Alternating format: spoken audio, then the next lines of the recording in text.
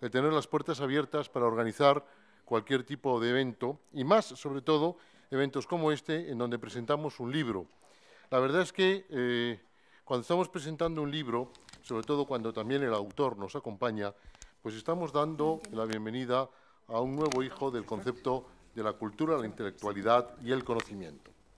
Con nosotros hoy nos acompaña Kees Van Riel, que es el autor de, de la obra, nos acompaña también el señor don César Pierna Vieja en la representación de la editorial, del líder editorial, y nos acompañan don Luis Abril y don Ángel Ayorza como presidente y director general de Corporate Excellence, que es la eh, institución que desde hace también algunos tiempos está colaborando con esta casa en la organización de algunos programas, en concreto con el análisis, con el programa que denominamos Análisis y Gestión de Intangibles para la Marca y la Reputación Corporativa.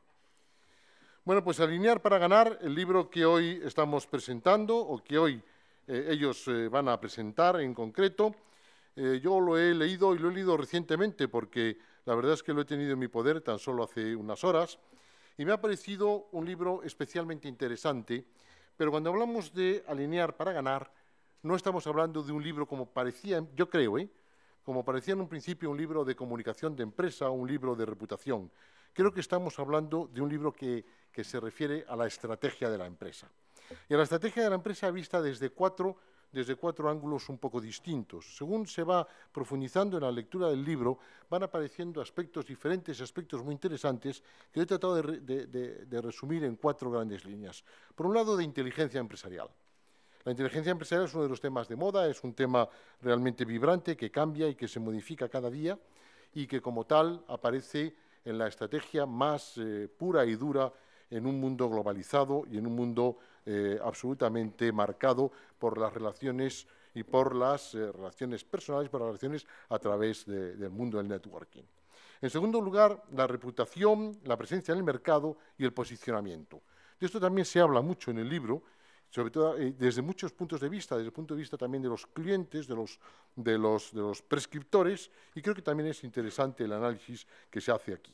En tercer lugar, y como no podía ser de otra manera, el concepto de, los resultados. Cualquier estrategia sin hablar de resultados es, eh, como agua que tiramos directamente a, un cauce y no podemos aprovecharla.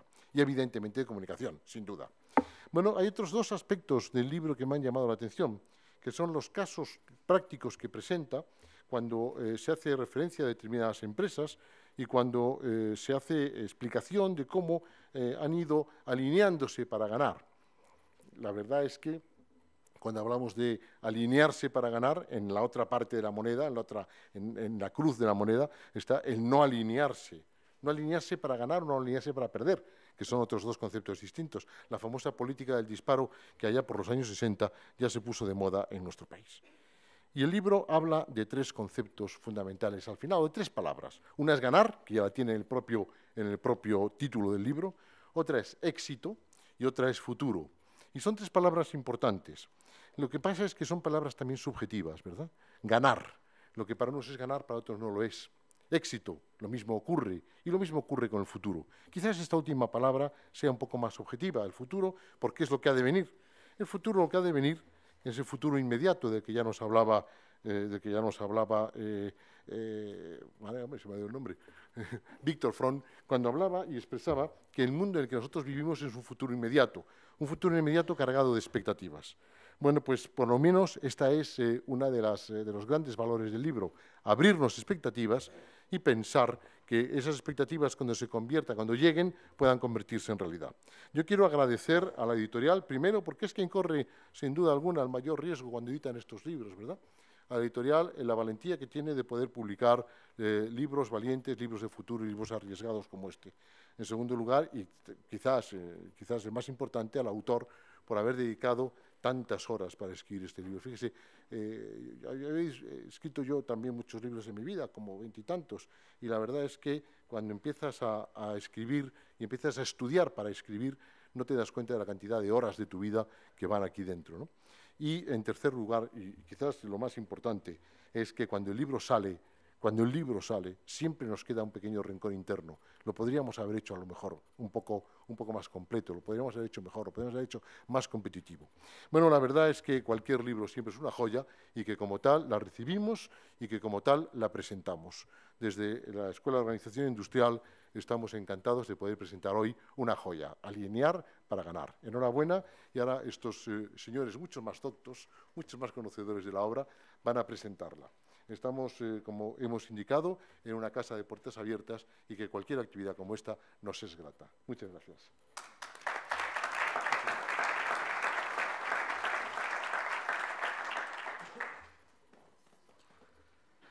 Muchas gracias, Fernando, por acogernos en vuestra casa. Y buenas tardes a todos y a todas.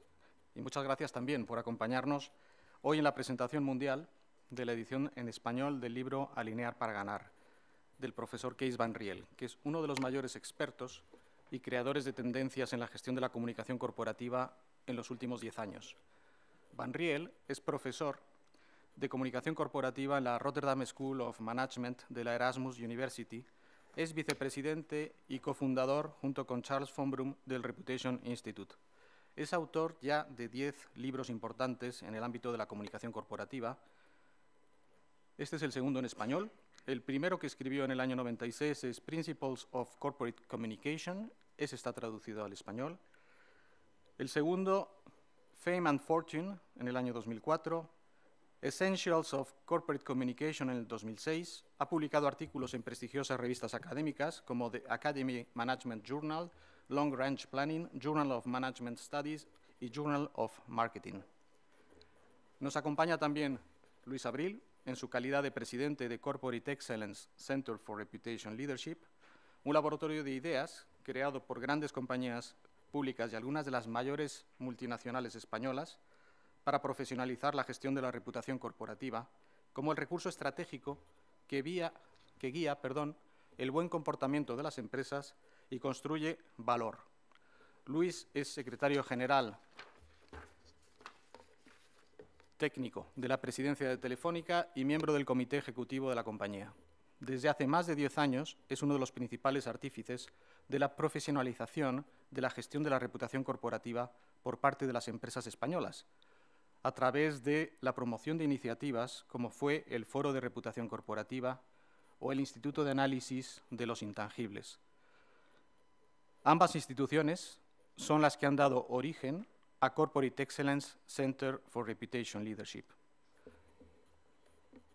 Y antes de entrar en materia, permitidme que haga un pequeño inciso para comunicaros también que hoy, con este libro, Corporate Excellence lanza su biblioteca, una biblioteca a la que llamamos Biblioteca Corporate Excellence, en el que el primer título que hemos elegido es precisamente Alinear para ganar.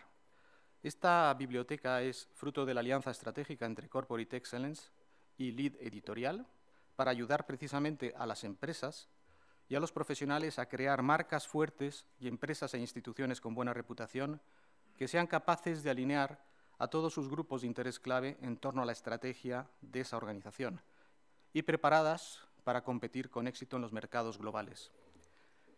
César Piernavieja, que es el director editor de Lead Editorial, ha sido una de las personas clave en esta alianza y me gustaría que nos contara sus expectativas con el lanzamiento de nuestra biblioteca y con el libro Alinear para ganar. César.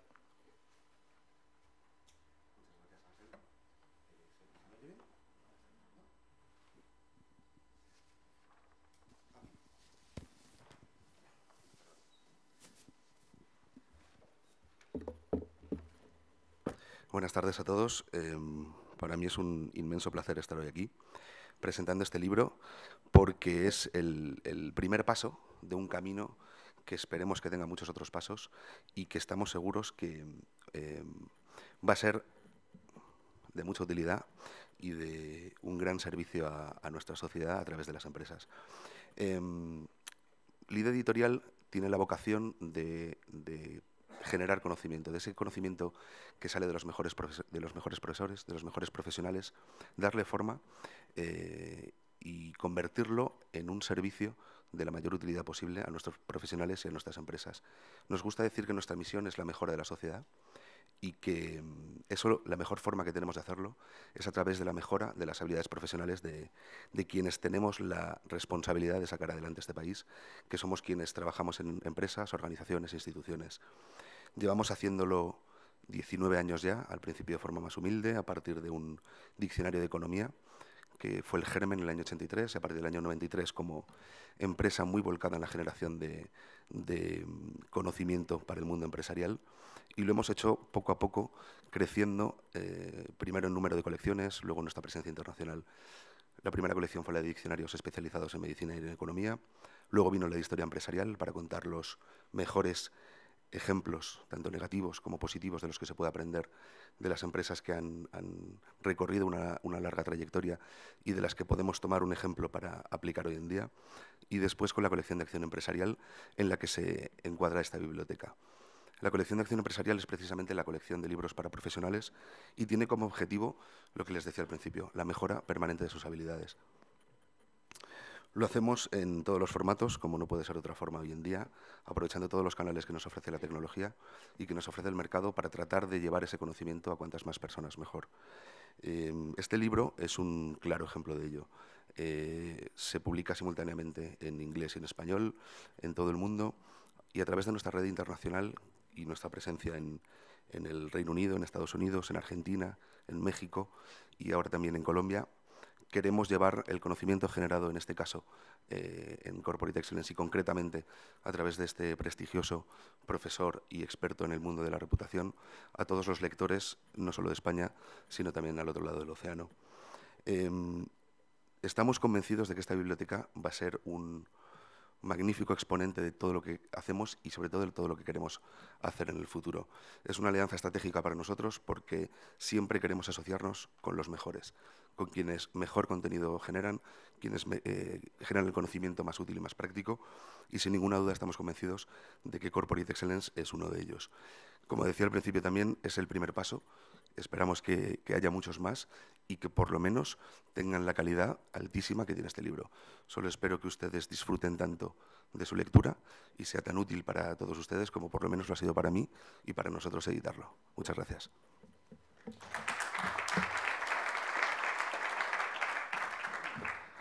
Muchas gracias, César. Ahora sí vamos directamente a empezar con la presentación del libro Alinear para ganar, del profesor Van Riel, Alinear para ganar explica cómo construir una reputación excelente eh, alineando los grupos de interés con la estrategia de la compañía. Es más, explica cómo la gestión de la reputación es la herramienta empresarial que te permite conseguir ese alineamiento. En opinión del autor, las empresas que están teniendo más éxito son aquellas que han entendido que la mejor estrategia está condenada al fracaso si no cuenta con el apoyo de los grupos de interés clave, tanto los internos como los externos. El libro recoge el caso de algunas grandes empresas españolas que han sabido alinear para ganar construyendo su reputación desde dentro hacia afuera, empezando por los empleados, con una gran coherencia entre su identidad corporativa, sus valores, su marca, su cultura y su comunicación corporativa. Vamos a recoger en, un vídeo que vais a ver en unos segundos algunas de estas experiencias.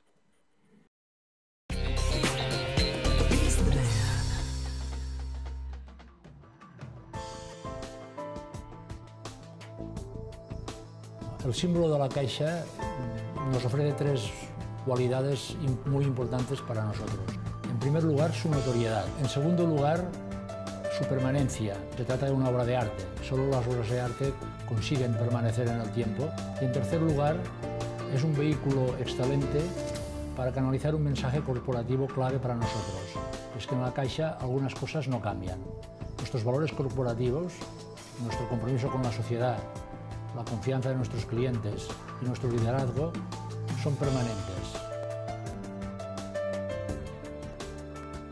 Las palancas que hemos utilizado para crear ese posicionamiento único internacional para la marca Santander son un, manual, eh, por un lado, un manual de actuación, normas de identidad corporativa que se aplican por todos los directivos de comunicación del grupo y un comité de marketing.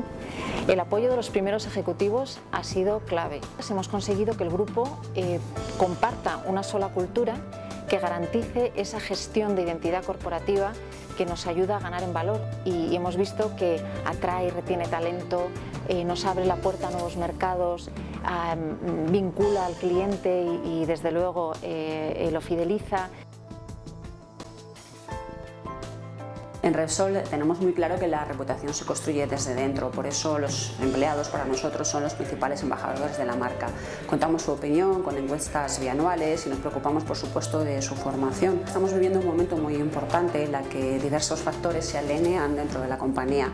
Eh, la visión reputacional, los valores culturales, eh, nuestros principales atributos. Una de las claves eh, de, éxito en una transformación de una compañía eh, es la comunicación.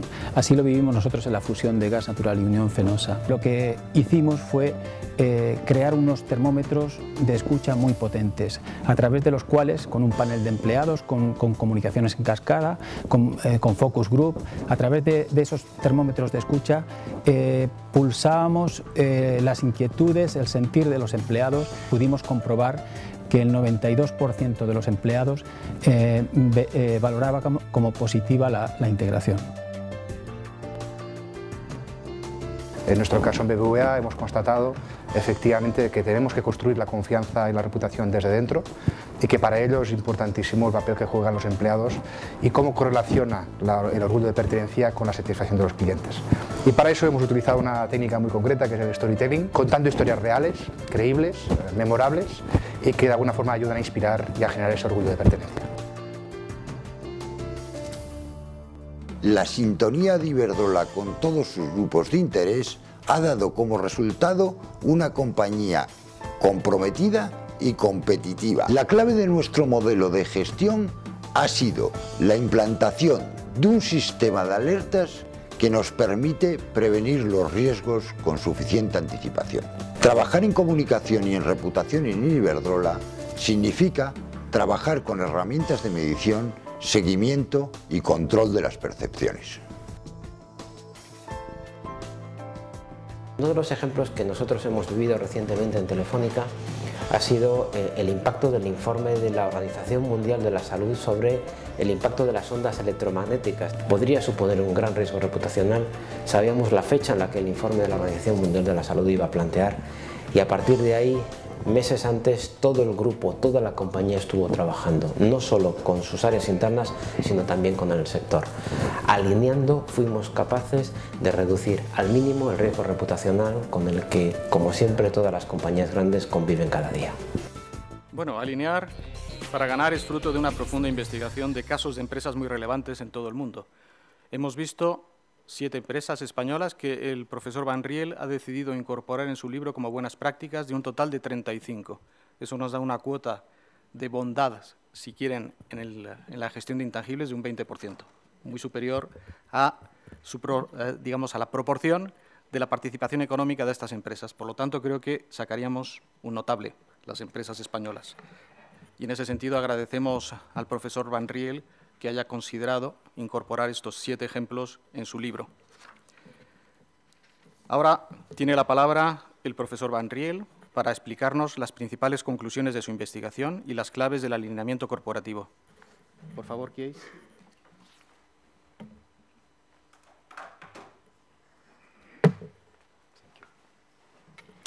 Thank you very much for joining me here uh, this evening. It's, an, uh, it's a big honor to be here.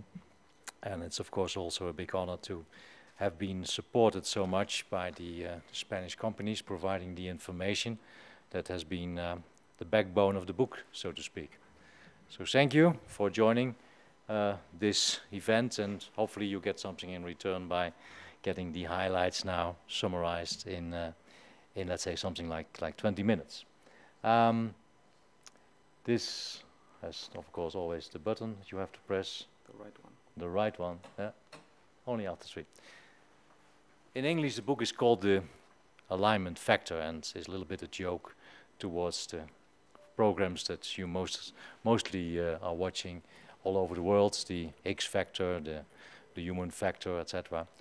Um, the alignment factor is actually a characteristic of an organization that simply states, proves that you have something different something more compared to other type of organizations. And you can see that on the inside, and you can see it on the outside. And actually, and that's probably the reason that I'm working at a business school, just like this business school, uh, I'm always asking my students, what's the financial benefit? And if you look at the alignment factor, there are two crucial financial benefits. At the inside, the financial benefit is the so-called 10 to 6 to 2 rule. 10% improvement in alignment results in 6% higher motivation, rolling up your sleeves, but in the end, 2%, literally 2%, results in an increase in financial performance. That is a calculation that we made based on more than 40 companies worldwide. Now I have to add honestly that not one of these companies managed to get 10%. The highest was 6, then 5, and many more are 4.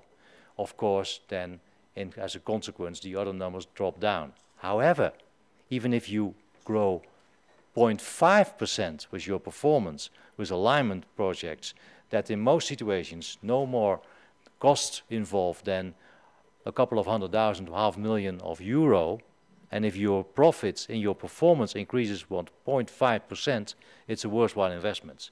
Exactly the same we see for the external alignments.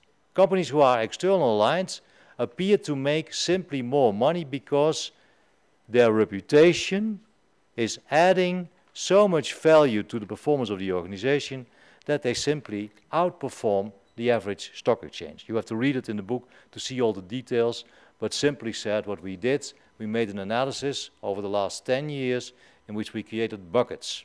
Buckets were shares of companies from which we knew during the last three months that they had an outstanding reputation. And we replaced them every time over the last 10 years. And then you see this curve. The red curve is the reputation scores of the companies, and that and uh, and the other one is the uh, the, the scores of the uh, uh, the average score on the on the stock exchange.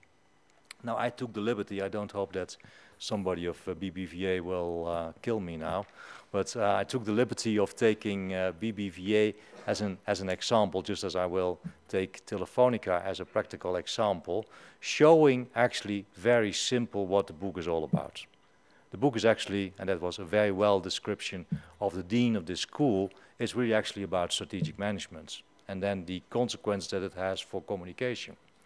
So let's look at uh, BBVA and then look at internal alignments.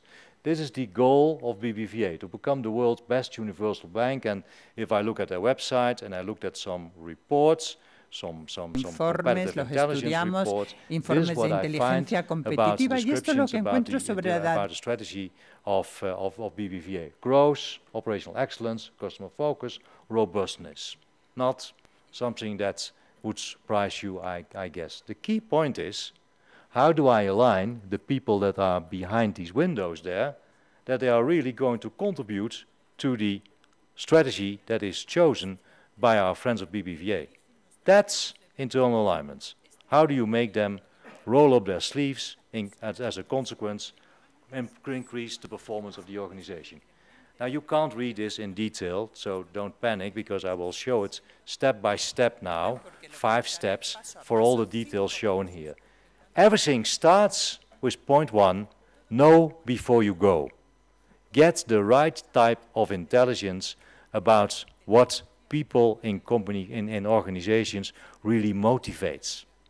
What is the answer to the question, what's in it for me, for all these people that work within, within BBVA, when they look at this strategy? What is the degree of alignment? We can measure that now, just as we can re measure reputation, we can exactly measure the same internally for alignment. The second point is, what is the strategic roadmap that you can take. And I will show you that simply the roadmap consists of two parts. One part is the traditional part, being nice. The other part is totally the future, if you ask me. That is being hard, being tough. Send in the Marines. It's confrontation versus negotiation. Communication people are very much used to negotiation, what I predict that in the 21st century, in order to survive the crisis, we have to add to that the negotiation strategy, we have to add the confrontation strategy, and I will show you that BBVA is actually already doing that. Uh, communication support, you have to explain it. Very sophisticatedly, because there are different interests and how to balance that. And then the key points. Are people strategically aligned? And out of my experience, in 9 out of 10 situations, you will succeed in doing so, but it will be very hard to convince everybody to become aligned. So not everybody, uh, you don't see that very clearly, but not everybody will be green, so to speak. Last but not least, and that's what I also strongly believe, you have to link this to remuneration. Remuneration, bonuses, at top level in the organization or at corporate communication level. Performance has to be rewarded, failure has to be punished. For that you have to have an objective criterion, and that objective criterion are the numbers that can be gathered by alignment research. Now let's go detail for detail. This is what you have to do, in my opinion, to gather intelligence. You always start with what I call an, an alignment landscape. That is simply gathering what you already have. You all have employee satisfaction surveys. You all have uh, all kind of figures from human resources indicating degree of alignment in, with, in an indirect way, with proxies, like the degree of training hours, women in senior management, special actions like the action of BBVA in Puerto Rico. You can measure over a longer period of time, this is a total hypothetical line by the way, uh, the, the, the, the, degree of alignment over a longer period of time. And based on that, you discuss with people actually what all these numbers mean. That's the inputs that you use to define KPIs. The second step is, like I said, and that's new, and that's what most people probably will at least discuss, whether or not that is the right way to do, is how to implement these type of action into efforts managerial efforts that really make the difference in creating alignments. The traditional way is the negotiation approach. And the negotiation approach is consulting people, which is a wise thing to do. Talk to people, ask them what, the, what their point of view is. You should continue doing that. You could also uh, um, um, extend it with consensus type of approaches, like town hall meetings, management meetings, the whole thing, fine. And you can even do it what our friends of BBVA did. I won't say it in Spanish, but let's pay clearly and simply initiative. All fine. But I firmly believe that that's not enough. You have to take it the extra mile by adding confrontation type of approaches with, for instance, mirroring, what I call mirroring. Show people in the mirror, so to speak, what is going on in the world. BBVA did that with the Atalanta campaign. BBVA also did it with the Plan Integra, the, in which, which people which had, uh, the, the, the, the disabled people have the opportunity to come into that bank. Nice type of initiatives, but also showing people this is the difference. This is the difference. And last but not least, power play. The power play thing with the BBVA Microfinance Foundation, or also the sponsoring of the teacher action, all actions aimed at the internal organization to show them this is how it should be.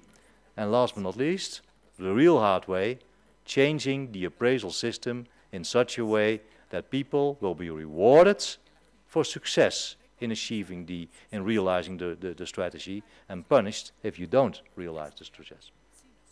Communication support is vital. And there's a long chapter in the book, but simply said, you can summarize it in six steps. Alignment can only be achieved if professional communication is applied by answering six questions. Number one is, who is taking the initiative? Who is the champion? Nine out of situation, nine out of ten situations, it's the CEO. But the CEO can't do that on his own. That's impossible. So he needs the support of communication, marketing, IT, and finance. Finance is vital in this process, both for appraisal reasons, but also for reporting reasons. So you have to be very clear on the roadmap to success in creating alignment. Second thing is, alignment about what? When we measure alignment in organizations, we encounter all the time the same problem. That is that these enormous abstract strategies are so abstract and so clever and so impressive that nobody understands it, with, with exception of the top of the organization.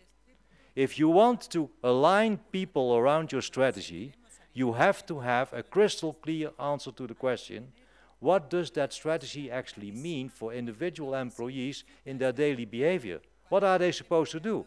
Provide that answer. If you don't provide it, stop an alignment process because it will be a failure. Alignment with whom? Everybody? or only the top of the organization, or only middle management. Be consistent in your messaging, very, very simple, developing skills, and last but not least, and that's the biggest challenge companies are facing nowadays, make people speak up.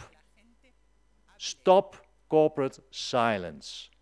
It was the end of Enron, corporate silence. Everybody knew what was going on. Nobody said something. You know these famous management meetings in which the chairman says, does anybody have some questions? And everyone said, well, let's have a drink. That's uh, the normal procedure, isn't it? And that's what you have to avoid in organization. If you really want to create alignments, you have to be brave. And you have to be open-minded to criticism too. In the end, that's what it's all about. People have to change their behavior, otherwise there's no alignment. alignment is totally different to engagement. Eh? Engagement is, if you remember the old days, before you were married. You had the intention to marry. Alignment is marriage for life. And then do the things that you have to do in the context of that type of action that you have taken. That's the difference. Engagement, that's HR. That's feeling nice, having nice intentions. Alignment is what you do. And if you do the right things in the context of the strategy, that's what should be all about. So in this case, for BBVA, you have to have numbers that show that you want to work for BBVA because you want to work for the best universal bank in the world. You will be well trained, you have career opportunities. That's an answer to the question, what's in it for me?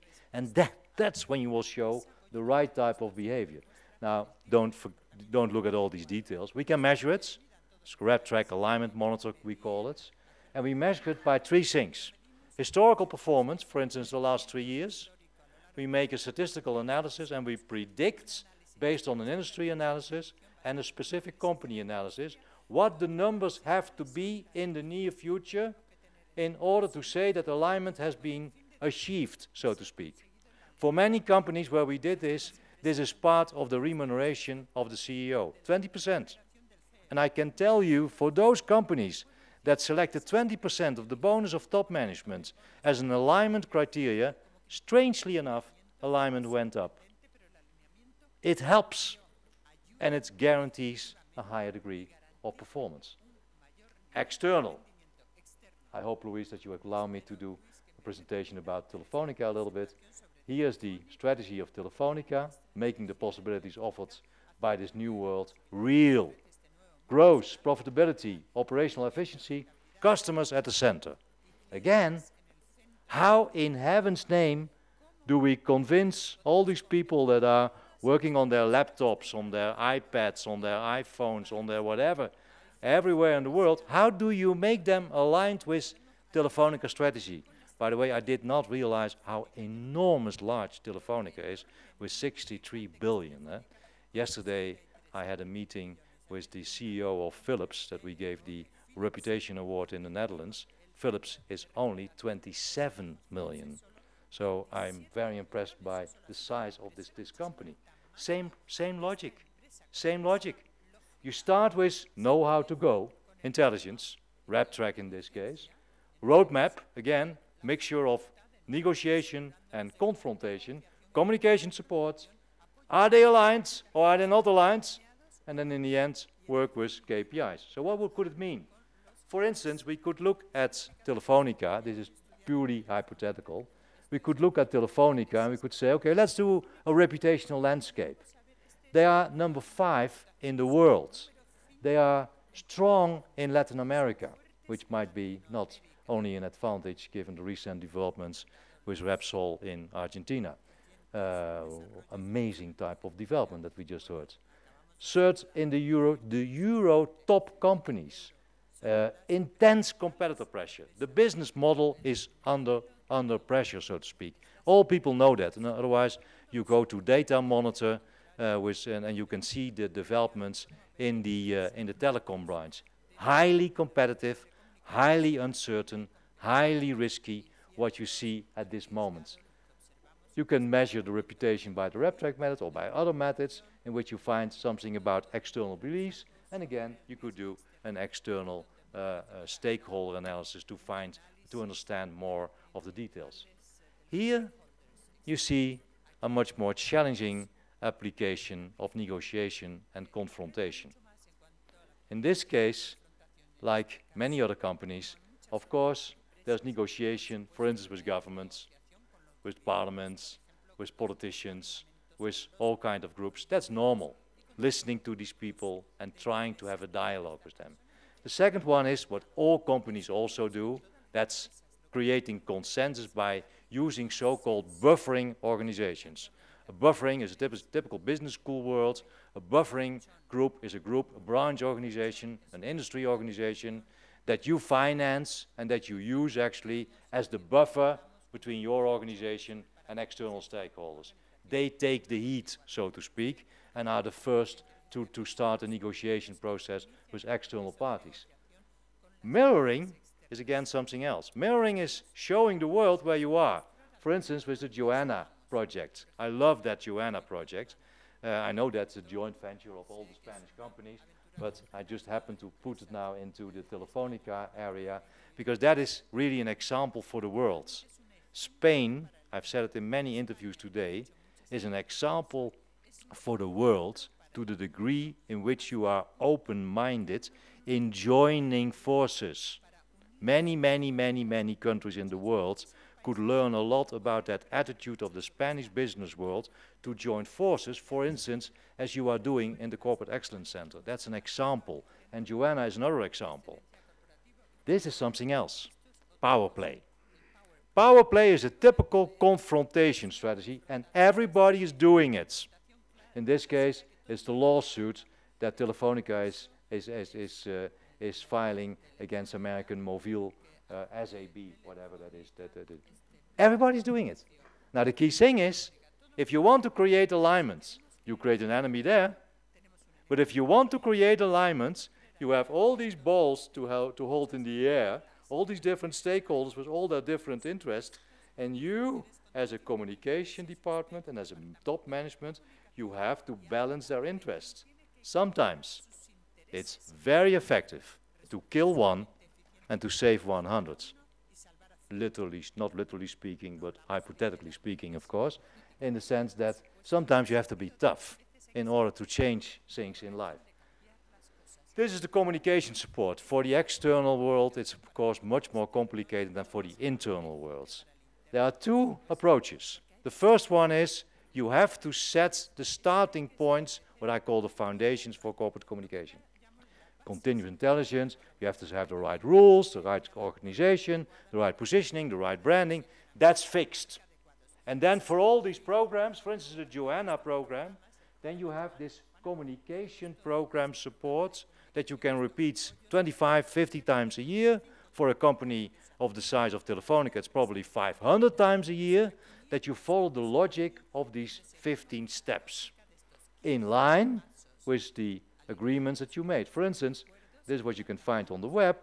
This is what, uh, what, what Telefonica is doing regarding gathering intelligence, business intelligence, not only, not only reputation, but also business intelligence. This is how you could put the, the framework regarding the communication function. This is also the rules that are applied by Telefonica. And last but not least, a very complicated thing, of course, for for a multi-branding company like Telefonica what to do regarding branding and brands that are applied in many of these countries and companies. In the end, it all boils down externally to exactly the same. Do people what they have to do in the context of the strategy and what's in it for them? Now let's look at just a hypothetical example of Telefonica. For instance, you could say, I want to have my telephone subscription at Telefonica because I'm treated as a king. I am proud of Spain. National pride. I can think that that's, that's very logical. Because the company has a positive impact on society. Because it offers simple and understandable products. If you can't provide statements like that, you can forget to realize your strategy in the end. People have to come up with those kind of statements. Those is the, gen is the general public, more or less the consumers. But can you also do that for the business customers, for the financial audiences that you are related to? My advice to you is if you want to create, in this case, external alignments, do a simple exercise in which you imagine what all the answers should be, could be, but preferable should be for all the stakeholders that you depend upon, and then try to develop communication activities, business activities that will provide those type of answers. Again, last but not least, KPIs. I'm a strong believer of KPIs, and I've seen it working in companies. You could use RepTrack, for instance, you could also use something else. It's exactly the same logic. Go back to the past, make a calculation of at least three years, look at the industry average, and then make a projection for the coming years. And then measure, measure, measure, and integrate that in the appraisal system at remuneration level of the boards. Then it triples down, it cascades down in the organization with all consequences involved. I'm very pleased, like I said in the beginning, to have been able to share this with you, but especially to be having the opportunity to have this book published in, uh, in Spanish. It's the second one in Spanish, but I'm very, I'm very proud about this one. So thank you very much of the, the, the, the publisher and the, uh, the Corporate Excellence Center. I think this is a, a wonderful example of uh, cooperation, and I do hope that it's all the examples and all the suggestions that are given in this book are not only beneficial for you, but actually for the whole of Spain and especially the Spanish business world. Thank you very much. It is a pleasure having been working with you. Thank you very much.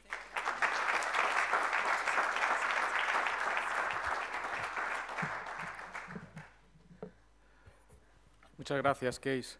La presentación que nos acabas de mostrar representa sin duda una aportación de gran valor, como bien has dicho, para los CEOs, para los directores generales, los miembros de los comités de dirección de las organizaciones y en especial para los directores de comunicación, o como preferimos llamarles, los Chief Communication Officers, la verdad es que el libro es un auténtico manual práctico para todas las organizaciones que quieran afrontar los procesos de transformación profunda que impone esta nueva etapa económica, este nuevo ciclo económico en el que estamos entrando, a que le podríamos llamar la economía de la reputación.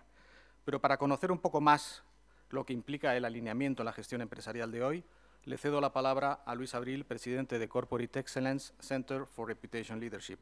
Luis.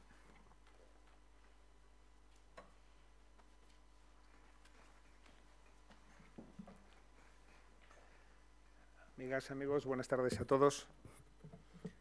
Antes que nada, mis, mis primeras palabras deben ser de agradecimiento. Agradecimiento al, profesor Van Riel, por supuesto, por, el libro, a la editorial LID por unirse a Corporate Excellence para desarrollar la iniciativa y la difusión del conocimiento, y a la Escuela de Organización Industrial por alojarnos en su sede. Al preparar estas palabras, la reflexión que yo me hacía es que Alinear para ganar, ¿eh? el libro de Case Van Riel que presentamos hoy, es el libro que a un servidor, después de ya muchos años de experiencia profesional en temas reputacionales y de comunicación, le hubiera gustado escribir. Y evidentemente si no lo ha escrito es porque lo ha sabido y porque no ha podido. Por tanto, Case, mi admiración más sincera ¿eh? por el libro. ¿eh? En lo personal, eh, sí quisiera deciros, empezar estas palabras eh, recordándoos a todos aquellos que de alguna manera me conozcáis un poquito profesionalmente, que siempre me habréis oído decir que para que una empresa o una institución se gane su lugar en el mercado y tenga una buena reputación, son por lo menos necesarias tres cosas. La primera es que tenga clara su visión, es decir, su razón de ser, sus valores, la forma y el estilo en que se hacen en esta compañía las cosas, y tercero, sus principios de actuación, es decir, los límites, las líneas rojas que no hay que traspasar para no entrar en conflicto con otros. Quien tiene claro esto, tiene claro su foco y lo normal es que no se disperse, ni en el fondo ni en las formas. Lo segundo es que no es posible consolidar un mensaje único ni consolidar una buena reputación si dentro de tu propia organización cada uno va a la suya. Como estamos entre amigos voy a hablar con toda crudeza. ¿eh? Y precisamente por eso voy a deciros que no hay peor enemigo para una compañía que sus propios departamentos trabajando en direcciones contrarias o lo que es peor, disparándose entre ellos, cosa que a veces ocurre. ¿eh? Ya lo dice el refrán, que con amigos como estos más vale no tener enemigos. Y tercero, y por mucho que nos duela, ¿eh? Y como decía Joan Manuel Serrat, nunca es triste la verdad, lo que no tiene es remedio, ¿eh? lo que no podemos confundir es el sistema real de una organización con su sistema informativo. Cuando las cosas no se hacen bien, es decir, cuando el sistema real no funciona bien, desde la comunicación del sistema informativo se puede ayudar a explicarlo o a minimizar el impacto negativo, pero los hechos al final son los que son.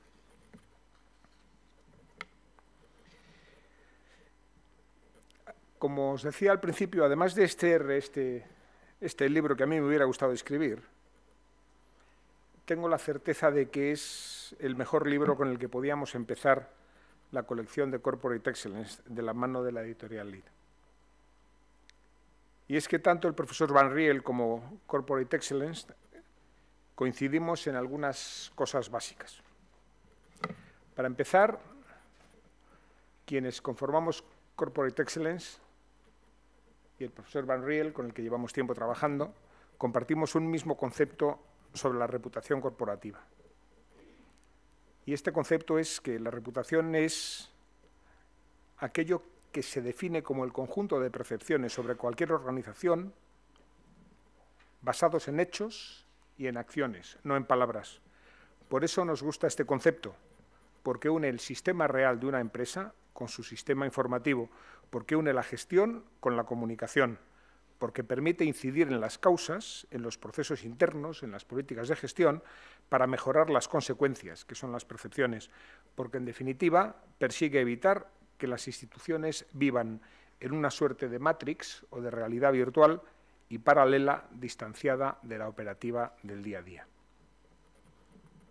Coincidimos también en un mismo modo de entender la gestión de la reputación, que es alinear internamente. Para el profesor Van Riel y también para las empresas que integramos Corporate Excellence, solo se puede gestionar la reputación si se concibe como una función transversal en las organizaciones, como una función que combate la tendencia natural de las empresas a actuar en forma de silos, como una de las pocas funciones empresariales con una mirada integral sobre el conjunto de la organización, como una función que mira más allá del corto plazo y que es capaz de identificar riesgos y oportunidades que han de surgir en el medio y en el largo plazo. Y para terminar, también coincidimos, los ya mentados, en la conveniencia de consolidar la figura del Chief Communications Officer, el CCO, como una posición organizativa que aglutina la gestión de todos los activos intangibles de una empresa y que actúa en ella de forma transversal. Y es que hoy en día estamos asistiendo a situaciones complejas, Normalmente, quienes tenemos la obligación de gestionar de forma integrada las funciones de comunicación, marca, patrocinios, reputación, responsabilidad corporativa, publicidad, asuntos públicos, relaciones institucionales o cualquier otra función conexa, lo hacemos más probablemente por el peso específico que seamos capaces de conseguir dentro de la organización a título personal, que porque exista una doctrina organizativa que nos habilite esa responsabilidad. Otras funciones han dado ya ese salto cualitativo, como ya ocurre con, el Chief Information Officer o con el Chief Financial Officer, el Chief Operating Officer o lo que fuere. ¿eh? En último extremo, yo creo que ahora nos toca a nosotros. Y para cerrar, quisiera eh, destacaros algunas de las lecciones que yo he sacado de la primera lectura que he llevado a cabo estos días del libro. Estos días son estos dos últimos días. No voy a puntualizar en absoluto al profesor Van Riel, faltaría más, pero sí me gustaría decir que, en mi modesta opinión, alinear para ganar es una aportación de enorme valor y de enorme utilidad para la alta dirección de las organizaciones, para sus consejos de administración y, en especial, para los que, como quien nos está hablando en este momento, tienen la responsabilidad de gestionar el día a día de los llamados activos intangibles. Si me permitís daros claros mis titulares, podrían ser algo parecido a estos.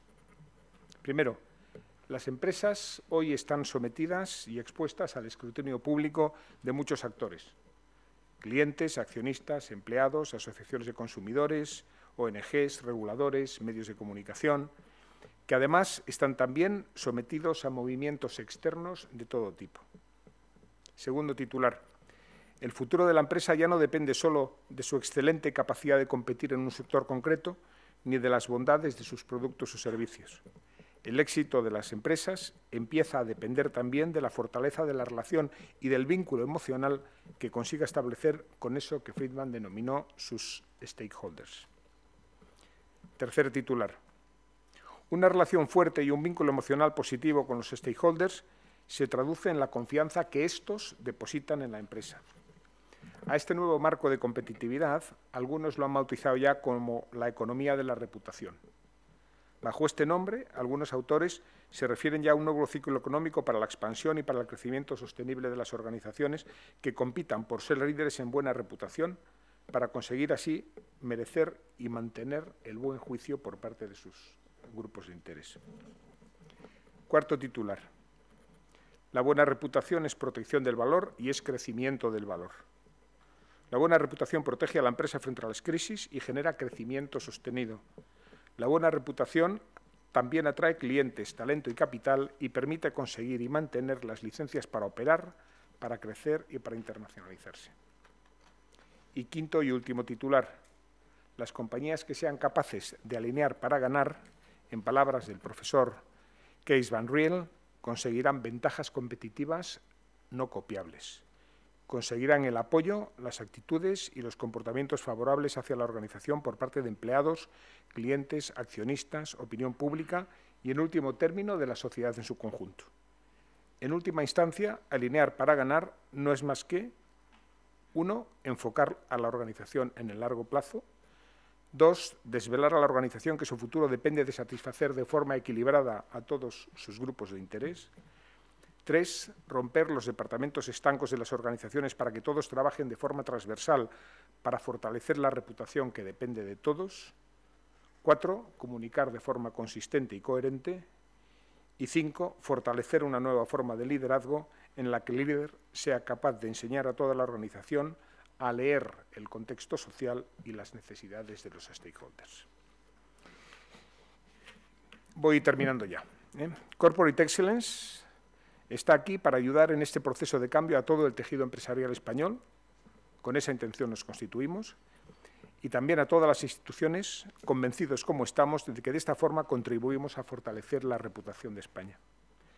Como laboratorio de ideas, Corporate Excellence aún no ha cumplido un año de existencia y en apenas estos primeros meses hemos puesto en marcha 24 programas de carácter estructural Hemos formalizado 35 alianzas estratégicas con instituciones de prestigio en todo el mundo y hemos formado un consejo asesor que reúne a 18 expertos tanto del ámbito académico como profesional en la gestión de los intangibles clave, como la marca, la reputación y la comunicación corporativa.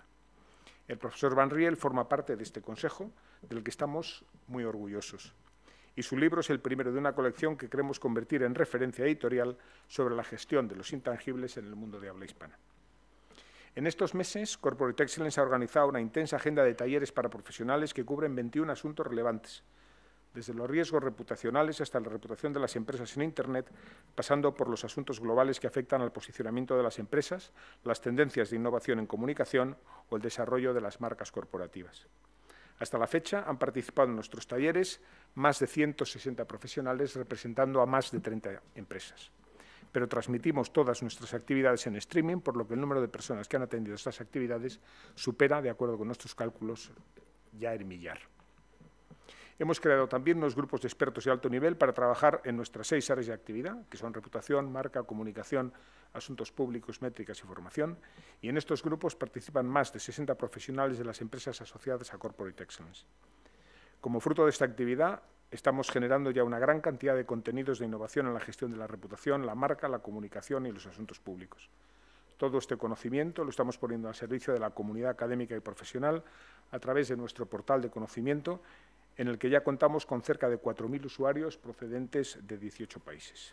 Todos los contenidos que generamos están abiertos y son accesibles en español y en inglés. Y esto es todo. Case, enhorabuena. Thank you so much for being here today with us. Eh, recomiendo el libro vivamente.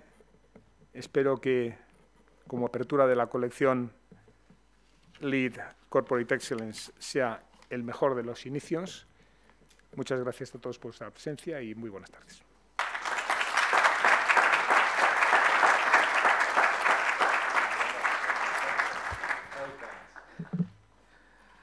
Muchas gracias, Luis, por tus palabras. Dentro de ese objetivo de contribuir a la mejora de la gestión de los intangibles en todo el tejido empresarial, eh, me voy a permitir hacer dos anuncios desde, desde Corporate Excellence. El primero es que precisamente en esta escuela en la que estamos, en la EOI, y como una de las iniciativas de una de las dos asociaciones que, forman parte o que dieron lugar a Corporate Excellence, que es el Instituto de, Análisis de los Intangibles, y tenemos hoy el honor de contar con su presidente en la primera fila, con don Antonio López, iniciativa de él fue crear un curso de gestión de los intangibles para la marca y para la reputación. Y el anuncio es que en octubre de este año haremos la quinta edición. Encontrarán fuera información sobre, sobre este curso. Y el segundo es, porque este primero es para formar a los equipos que dependen del director de comunicación corporativa o del Chief Communication Officer, pero nos quedaba pendiente la asignatura de formar a los futuros Chief Communication Officers. Entonces, para mí también es un placer anunciar que a partir de, de este año en concreto, el 28 de junio, lanzamos un curso internacional en alianza con tres colaboradores académicos de primer nivel, la Universidad de Georgetown en Washington, la Universidad de Columbia en Nueva York y el Brand Institute de ESAD en Madrid. Y precisamente Kees Van Riel es nuestro profesor estrella para el cierre del curso en Madrid. Y ahora, para finalizar este acto, abrimos un, breve coloquio ¿eh? con el que podamos compartir ideas. Muchas gracias.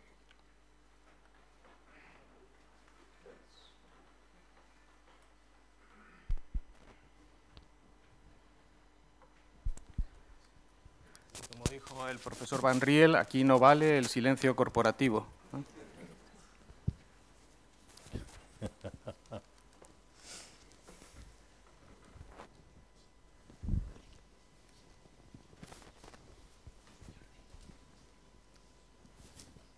Bueno, como yo no soy corporativo, pues creo que por eso me, atrevo, ¿no?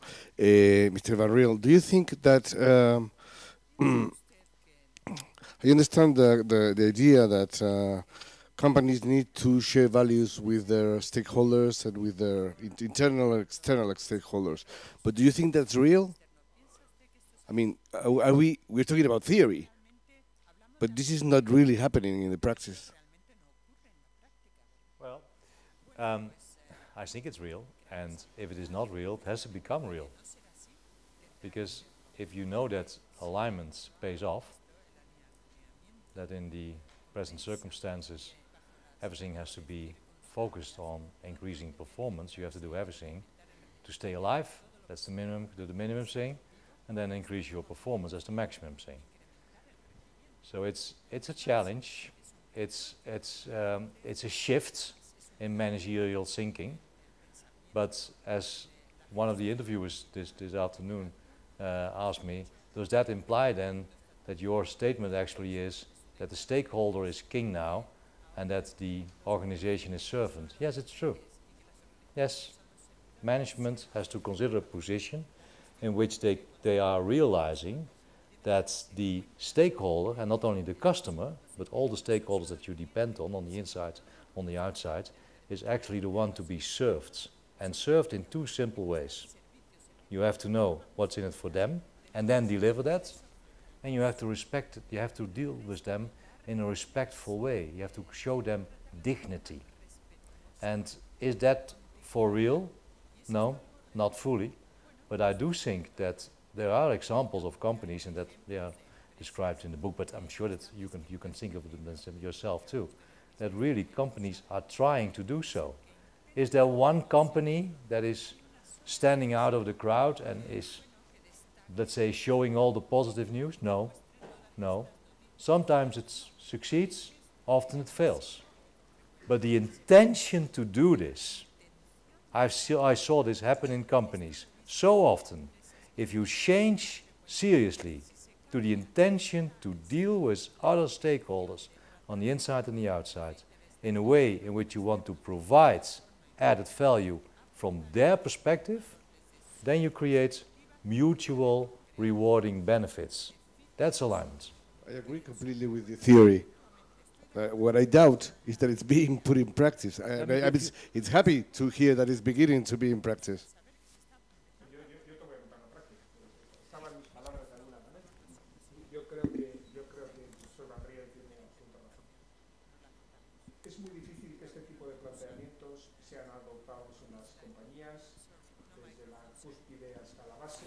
Microphone.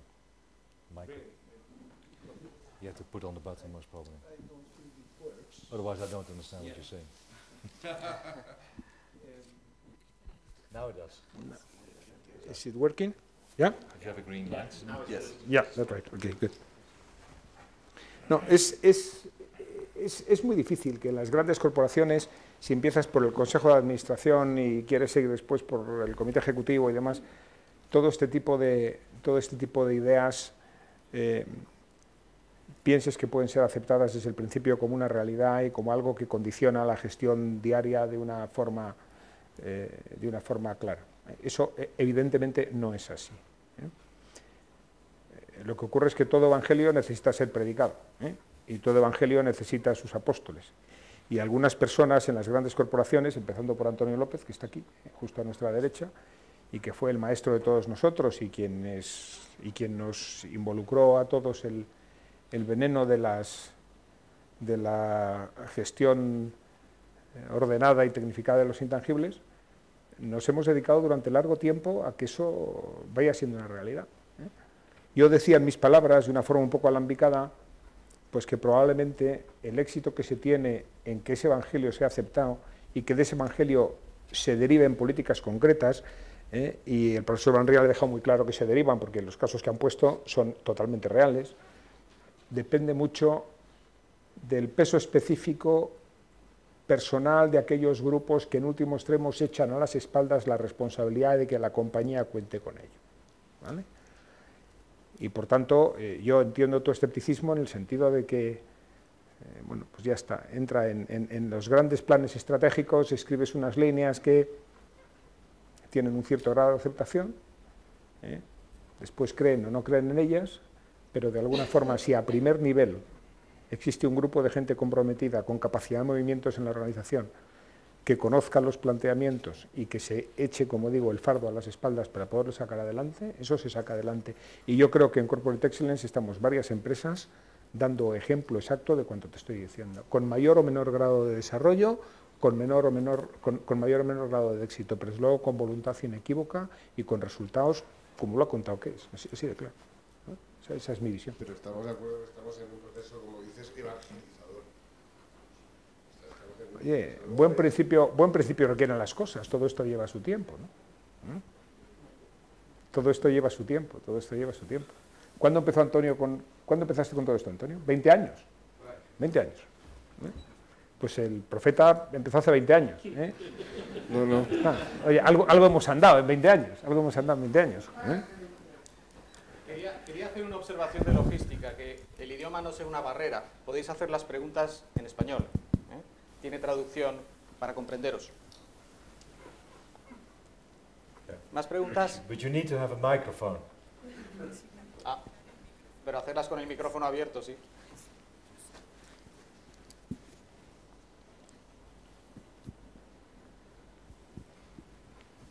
Hola, mi nombre es José María Jiménez. Eh, la pregunta que quiero realizar es, relativamente sencilla, por lo menos en el planteamiento, y es, eh, ¿todo esto que, de lo que estamos hablando es solo aplicable a las grandes compañías o también es aplicable a pymes, a pequeñas y medianas empresas, etcétera? Well, I do hope so. I, I, do hope so that it also applies to smaller it's basically the same, whether or not you're, whether you're large or you're, you're small. I, I even think if you are small, it's, it's easier to do. And you see, the, the key point is you have to find out what really drives people to follow you in the strategic, the strategic orientation that you want to implement. And for different type of stakeholders, it will, will be different type of reward, so to speak. I think for a smaller company, it must can be costly to, uh, to, to, to, to, to, let's say, to, to make a study of all these demands, but you can talk to people, you can listen to people, and most important, you can also use your imagination, your imagination about what could be the answer to such a question. Um, yeah, can, can, is, that, is that a satisfying answer?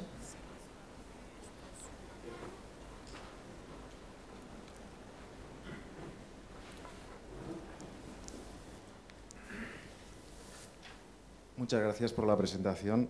Uh, creo que ha sido Luis Abril que ha dicho en algún momento que la buena reputación no solo es protección, sino también crecimiento, lo cual mmm, creo que estaríamos todos de acuerdo. De todas maneras, yo quizá lo que he echado un poco en falta en, la charla ha sido uh, alguna mención específica al entorno de recesión que estamos viviendo. Realmente, yo creo que, y comparto un poco uh, las palabras de mi compañero, en las líneas maestras de la teoría yo creo que estamos todos de acuerdo y estamos todos intentando empujar en esa dirección. El problema quizá es un problema a veces de credibilidad y a veces de posibilidad. ¿eh? En un entorno recesivo con grandísimas dificultades que no hace falta detallar porque todas las conocemos, todos los, los conocemos suficientemente bien, ¿cómo podemos avanzar desde el decrecimiento, desde la recesión económica en términos de reputación? Yeah. Well, fair point, fair point. So I'm uh, surely so that in the uh, in the context of the uh, the present financial crisis, um, well, you know, it, uh, every effort has to be has to be made to, to, to stay alive and to let's say to grow. That, there's no doubt about it. But let me that takes two minutes, I guess. But let me give you an example that also will satisfy the three quite the, the, the three of the three of you, hopefully.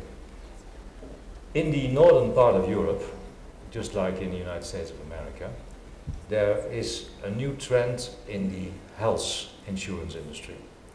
And the health insurance industry is actually on the move, so to speak, by simply by the recession.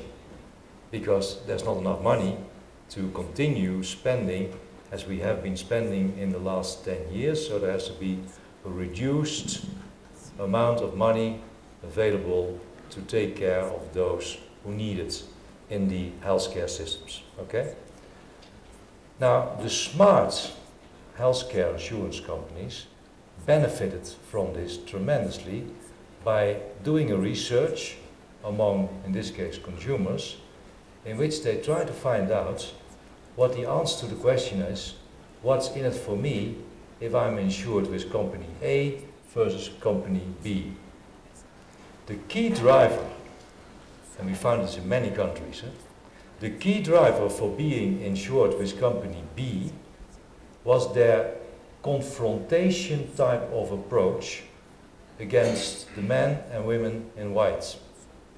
The irritation towards the medical specialist is enormous among large group of patients that are really frustrated by the way they have been dealt in the last 10, 20, 30, depending on your age, by the medical specialist. Now finally, there are insurance companies, like this company B, that are taking confrontational type of initiatives that apply the system of naming and shaming. They publish lists of hospitals and individual medical specialists that are typified as the good, the bad, and the ugly. And they actually, they actually push you to go to one specific hospital for specific treatments and leave the other ones behind. That made them enormous popular. Their profits went up like this. As a reward for a confrontational approach, which was, did not make them very popular among medical specialists, but all other stakeholders had a lot of applause, so to speak.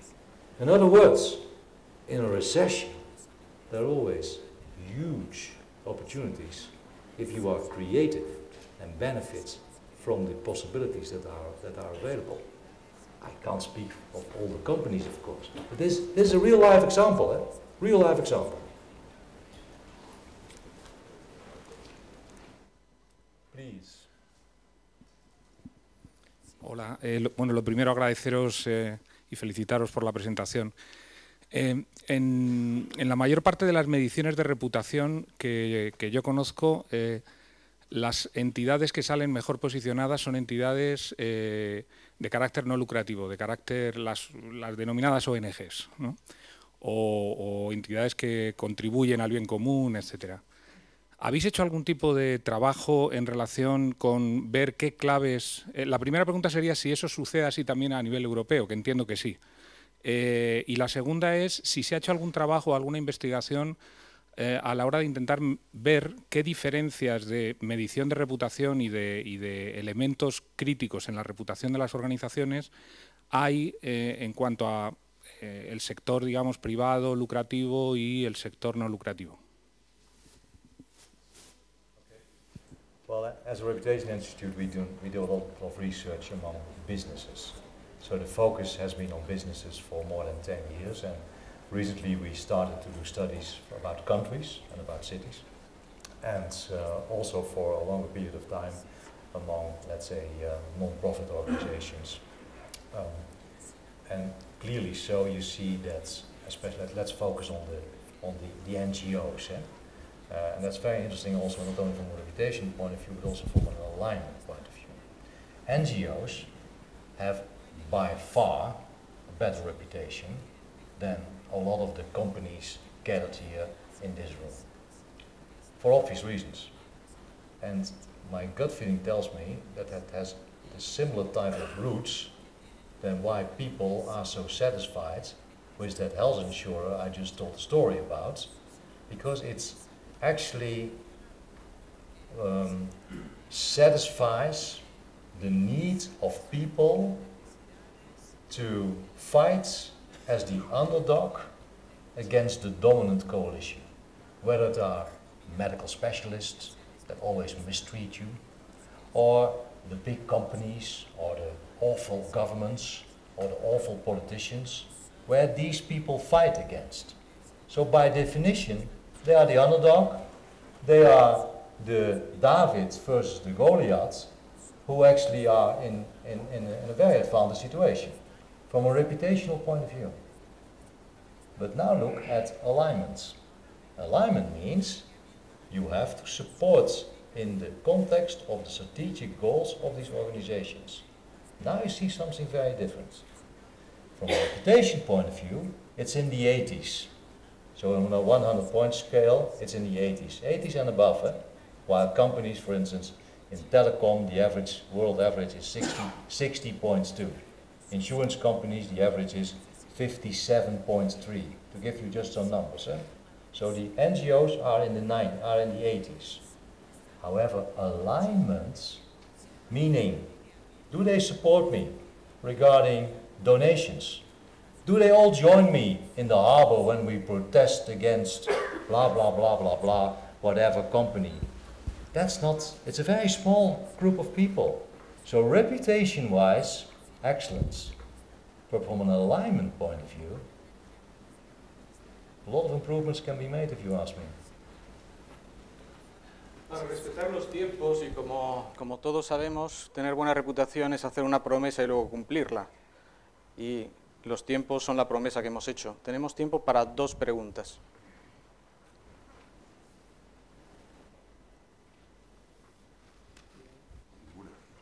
Was that a stimulating statement?